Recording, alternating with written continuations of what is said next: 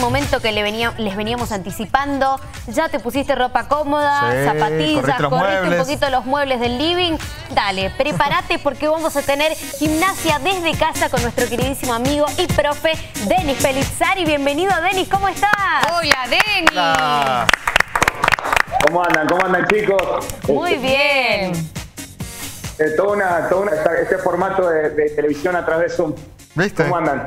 Bien. Excelente. Muy. Bueno, de- decíamos al comienzo del programa que el confinamiento, esta fase 1, no signifique quedarnos todo el día en el sillón, es importante mantenernos en movimiento. eh, y ahora vamos a hacer una pequeña rutina para que todos puedan hacer desde su casa.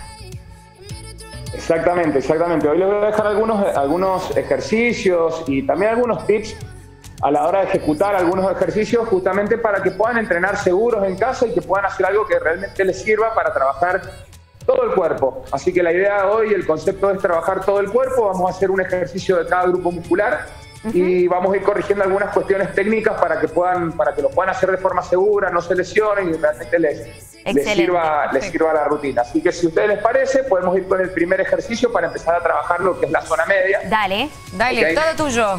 Bien. Bueno, vamos a arrancar con el primer ejercicio. Eh, lo hemos visto incluso en el programa alguna- algunas veces. Este, vamos a corregir algunas cuestiones técnicas, que es la famosa plancha. Ajá. Vamos a hacer una- eh, una- un- el formato tradicional de, esta, de, esta- de este ejercicio. Lo que sí es importante es tener obviamente algún lugar para apoyarnos, porque si nos apoyamos en el suelo tal vez es un poco incómodo, nos pueden doler los brazos, entonces siempre tenemos que tener a mano una colchoneta o si no es una colchoneta, una frazada, algo que le- les ayude a que sea un poquito más, más blando o más en la superficie, ¿no? Sí. Sí. Vamos a apoyar justamente la superficie, eh, la colchoneta en la superficie, y los vamos a poner en posición horizontal, paralelo al suelo, apoyando dos antebrazos. Ustedes díganme si se alcanza a ver ahí. Sí. Mira, Si Denis, podés bajar un poquito la cámara. fíjate si podés bajar Vamos un poquito bajar. la cámara. Dale. Ajá, eso. Mira. Excelente. Ahí vamos. Ahí. A ver, Ahí te vamos a ver de papito. 10.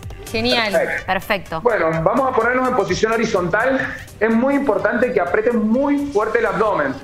Y hay un movimiento ahí que me voy a acercar a cámara para mostrarlo, que es la famosa retroversión de pelvis, que es necesario tenerlo en cuenta a la hora de ejecutar este ejercicio. ¿Qué es lo que es la retroversión de la pelvis?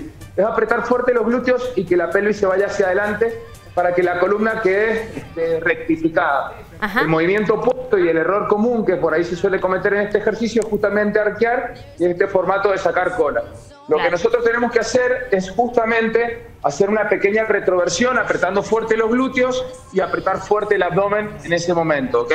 ¿Dónde es la postura? No es allá abajo cerca del suelo, Claro. no es allá arriba en plancha, sino es lo más paralelo este, posible al suelo, manteniendo todo el eje del cuerpo alineado a los hombros. Bien. ¿Cuánto vamos a hacer de esto? Bueno, eso es muy relativo, obviamente dependiendo de la condición física de cada uno. Lo ideal es por lo menos sostener esa posición en formato isométrico, o sea, ¿qué quiere decir isométrico? Manteniendo la posición sostenida en el tiempo, sin subir, sin bajar, en una posición sostenida, mínimo 15 segundos. Y a partir de ahí le vamos a dar un máximo de 30 a 45 segundos dependiendo de la condición física Muy de bien. cada uno. Perfecto. ¿Cuántas series? Les vamos a, vamos a dejar tarea en casa, tres a cuatro series de este ejercicio. Bien. ¿Ok? Perfecto.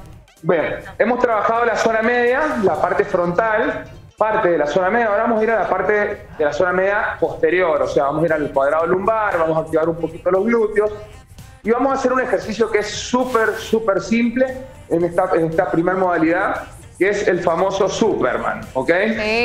Vamos a, vamos a apoyarnos las rodillas, ancho el, el apo- apoyo de las rodillas está anchera, vamos a apoyar las manos, está al frente también las manos van a quedar a la altura de la rodilla. Y vamos a hacer una extensión de, de brazo y vamos a hacer una extensión de la pierna y de la cadera. Guarda el tele. la Guarda, rodilla. claro, guarda con el tele, Denis. No, no, no toca, está chequeado. Ahí estamos, extiendo bien. ¿Y qué es importante en este movimiento? En la extensión de la rodilla es muy importante apretar el glúteo, ¿ok? Es muy importante que el glúteo se presione. Denis, ¿sí? espera, porque mira, acá te están copiando nuestro Bebu que, Sí, que Ah, los ¿sí? están haciendo los ejercicios. está haciendo digo. el ejercicio.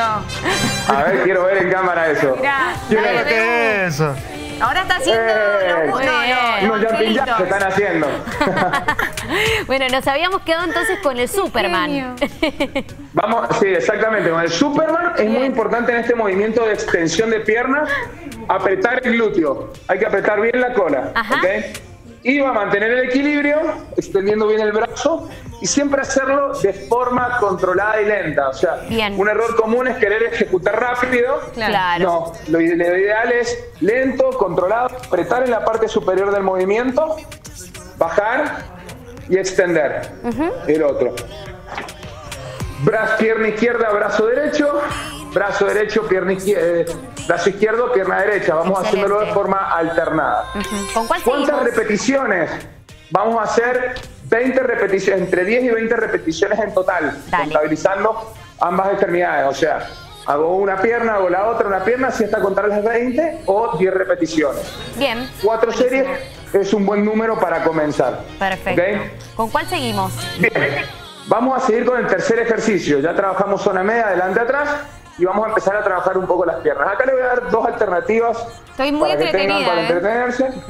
¿Cómo? No, que est- estoy en una posición, estoy muy metida en lo que estás haciendo porque me encanta entrenar desde mi casa y, y- y voy a hacer todo esto. Sí, yo creo que es una buena. Hay mucha gente que le gusta entrenar en casa y bueno, a los que no les gusta entrenar en casa es importante saber de que esta semana lo vamos a tener que hacer y es importante mantenerse en movimiento. Y ahora vamos a hacer una sentadilla. Importante en la sentadilla, por ahí me dicen, che, Denis, ancho de cadera, más abierto, más cerrado la posición de las piernas.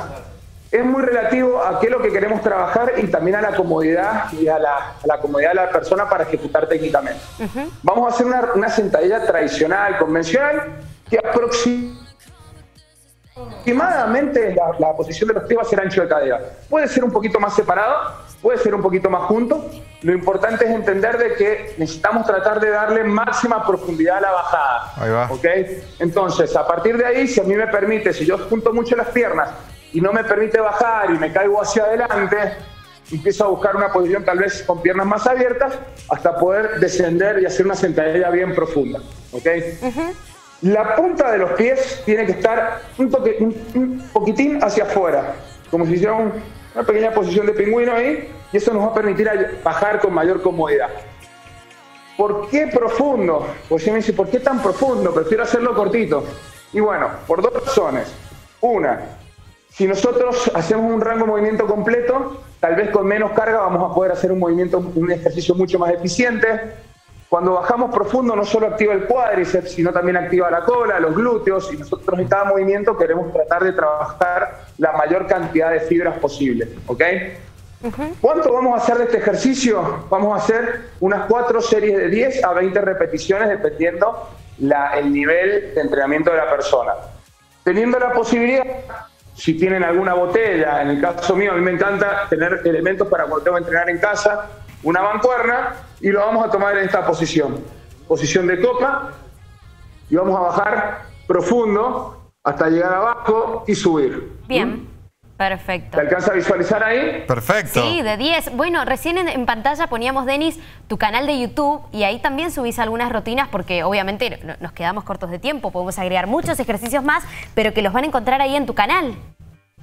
Sí, sí, totalmente. Estamos justamente, la idea es poder brindar un poco de, de actividad y que sea guiada este, a modo de motivación a las personas que quieran entrenar y hacerlo de forma sistemática en el transcurso de esta semana y a los que les gusta entrenar en la casa que lo puedan seguir haciendo. Así que van a encontrar un montón de rutinas en mi canal de YouTube, Denis Pellizzari.